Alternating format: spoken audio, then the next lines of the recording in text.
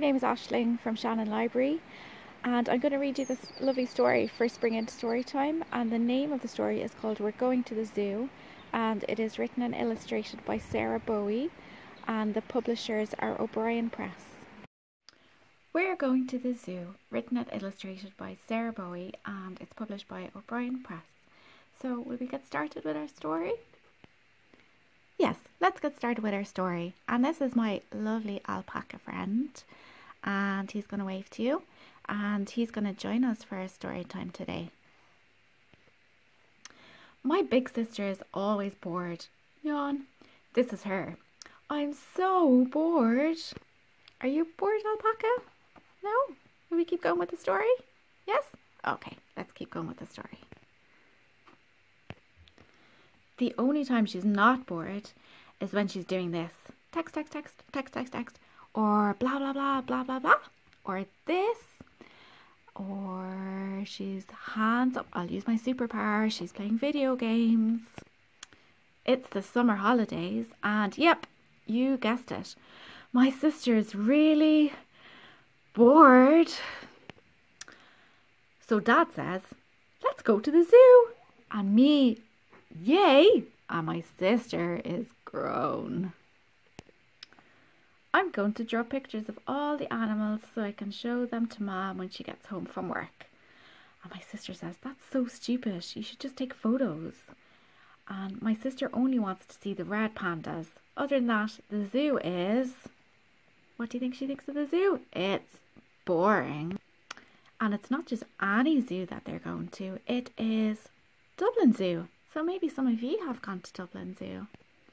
I head straight for the fruit bats. They're sleeping because it's daytime. So they're good ones to start with. My sister says, You're so weird. Here's me drawing like crazy. Draw, draw, draw. And here's my fruit bat drawing. And this is the right way up, so don't turn the page around because they sleep upside down. And she's drawn the wings and loads of information about bats. Bats are the only mammals that can fly. And when they sleep, they use their wings like a blanket. And a question Do bats in Australia sleep standing up? The answer is mm, maybe. Next, I draw elephants. And they're having a bath, so this one is a bit trickier. And Dad says a little bit of water never hurt anyone. Yeah, I say to my sister, and my sister gives me a dirty look. And the her poor sister is just getting all soaked. Here's my elephant drawing. This was good until they sprayed it with water. Her drawing got all covered with water. And elephants have huge brains, which makes them really smart. And this bit, this bit here, is the trunk and they use it to breathe, to smell, to touch, to wash, to eat, to drink, and to talk. In elephant language, of course. Over to the giraffes. My sister is still wet from the elephants. Look at her there, she's fuming.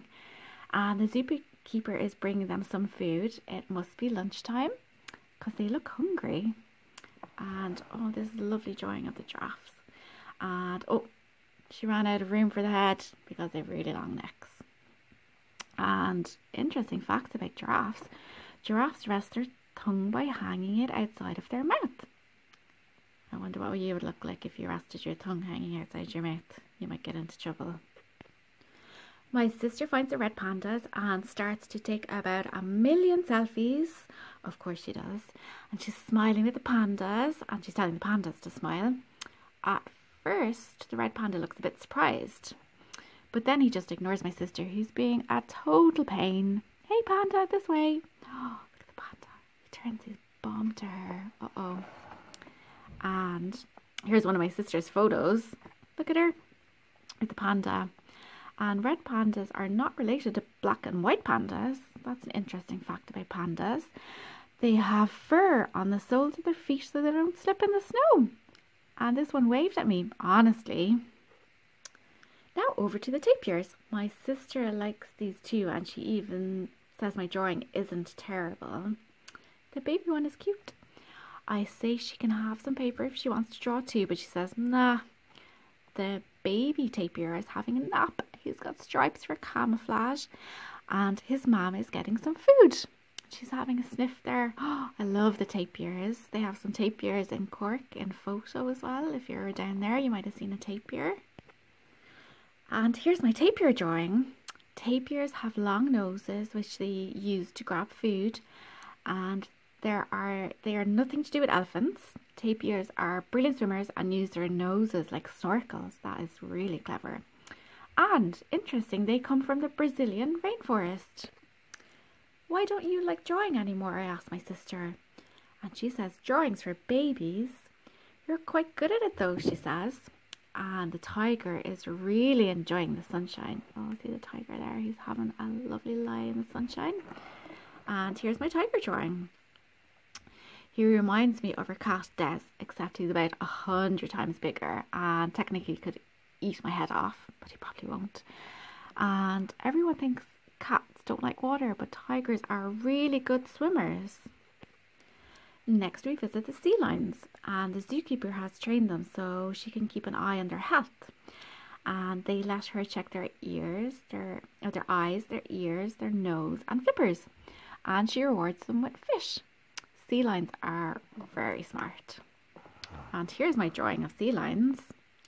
This one was jumping really high, which is what they do if they're being chased by a shark. And sea lions use their flippers like legs to walk on land. And they have ears that you can't, they have ears that you can see. Oh, and seals don't. That's an interesting fact about sea lions that I never knew before. These monkeys are called macaques. They are all grooming each other is what which is their favorite thing to do. Yeah, it is. And do they remember that do you remember that time you showed me how to draw cat faces? I asked my sister. And then we used to have cat face drawing competitions all the time. Yeah, she says, but that was ages ago. And these monkeys are making me itchy. My macaque drawing, and macaques keep their food in their cheeks in case they get hungry later. I don't think we should do that though. And they have a punk hairdo and big pink bums that stick out. And oh, she's gonna try keep all her store all her jelly babies in her cheeks for later. That is not a good idea, I don't think. We go over to the rhinos where there's a new baby, and both me and my sister think he's the cutest thing we've ever seen. He is really cute, and he's running around and around, and he keeps bumping into things because he's a bit blind. And then my sister asks, "Here, can I have a pencil?" And here's my baby rhino drawing, and my sister did the hearts. Rhinos, even the big ones, are really fast runners, and they go whoosh, and they go flying it and but they have very bad eyesight, um, but they have brilliant hearing. And she's written there, there's no need to shout. That's what the rhino is saying. Later, or the last stop is the meerkats, and oh, it's dinner time, and all the meerkats come out to see what they're having for dinner, and they're having a sniff. And you're still really good at drawing, I say to my sister. No, she says, really? Oh, look at all the meerkats. They're having their dinner. I wonder what they eat for dinner. And here's the meerkats, me and my sister, Drew. And meerkats have dark circles around their eyes to help with the sun, kind of like sunglasses. And they can eat snakes and scorpions without getting poisoned. So the two girls are doing loads of drawing at the zoo. And one of the zookeepers says, Hi girls, do you mind if I have a look? And she says, These are great. And well, it's really my sister. She's the artist. And the zookeeper says most people just take photos and they all look the same. But your drawings show me things that the camera doesn't see. Like bat wings being like like blankets. And I'd like to have an exhibition of all your drawings. Come on, we'll do it over here. Dad says we can. And Mom is going to come too. That is so great, isn't it? And they hung up all the lovely drawings in the zoo. And here's me with all the drawings. And loads of people came and I got my picture taken with the zookeeper. That was really nice, wasn't it? And the zookeeper's, her name is Susan. And of course, my sister took a photo too. Here it is.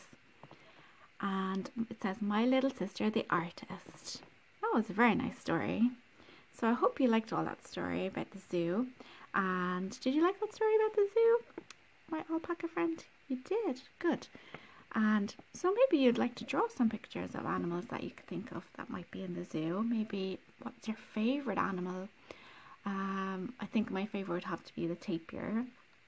But maybe you can have think about what your favourite animal is and you could come into the library when we're open again and we'll be able to find you a book about your favourite animal. You can come to the desk and ask us.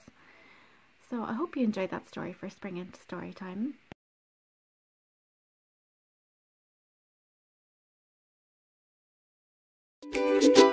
Música